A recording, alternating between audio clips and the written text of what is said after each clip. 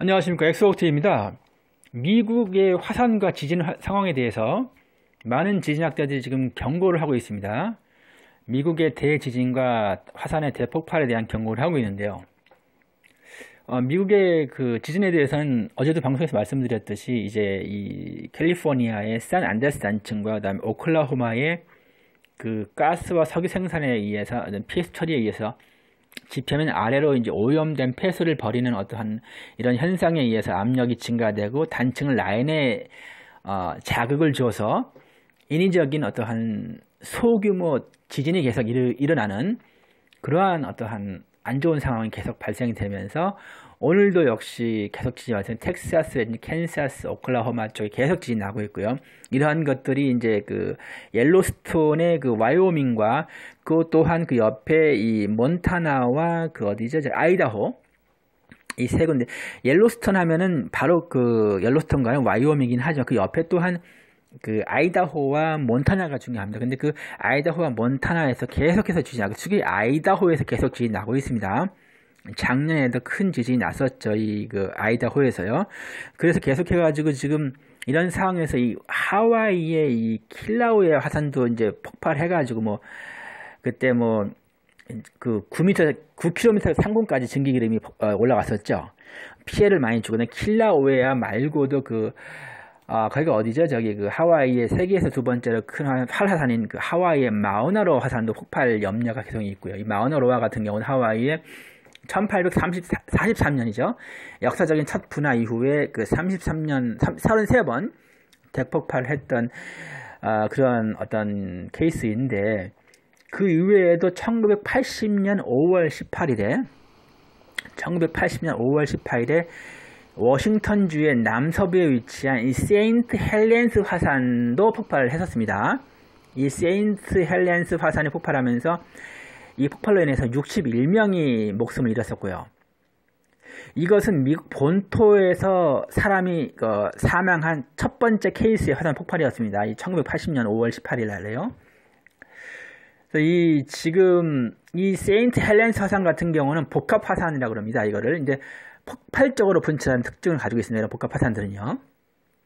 그래서 이런 이가 그 뭐냐면 그러니까 여러 개의 그 어떤 가파른 측면 경사 이 세인트 자체가 화산 자체가 여러 개의 용암층과 화산 분출물에 이루어진 어떤 대칭적, 대칭적인 원형 원뿔 모양을 가진 복합, 복합 화산이라고 얘기를 합니다. 그래서 이, 이 화산 활동으로 인해서 이 세인트 헬렌스가 5월 18일 날 폭발을 했는데 방금 80년 이 워싱턴 주 뿐만이 아니라 캘리포니아하고 좀 말씀드린 캘리포니아, 근데 알래스카 또 말씀드렸죠. 하와이 이에서 계속 할, 화산 활동이 많이 있습니다. 그래서 우리가 지금 이 미국의 이 워싱턴 주에 있는 이 세인트 헬렌스 화산이 지금도 지금 계속해서 어떤 경고를 가지고 있다. 이 워싱턴 주의 이 세인트 헬렌스 화산 폭발을 염려를 해야 되고 이 워싱턴 주에는 다섯 개의 화산이 있습니다. 그 모든 화산들을 다 조심해야 되는 것입니다. 지금 음, 최근에 하여튼 그 미국이 굉장히 어떠한 지질학적으로 위험한 어떠한 그 어떤 시그널을 보이고 있어요. 지금 말씀을 드렸듯이 아, 알래스카 다음에 어디죠? 저기 그 하와이 그리고 저기 그 워싱턴 아, 그리고 저기 그 어, 와이오밍, 아이다호, 몬타나의 옐로스톤 그 다음에 캘리포니아 그리고 산 안드레아스 그 다음에 오클라호마 그 다음에 캔사스 텍사스 지금 전체적으로 어, 미국 전역에서 화산과 지진 활동이 굉장히 지금 폭발적인 그런 상황입니다.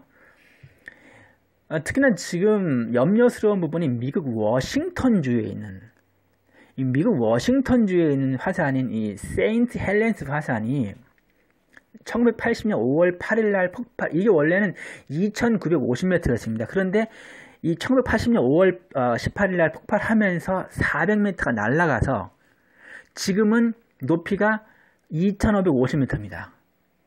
그러니까 그 환한 폭발로 인해서 400m가 아직 날아가 버린 겁니다. 이게 그 히로시마 원자탄의 500배 위력을 지닌 폭발이었습니다.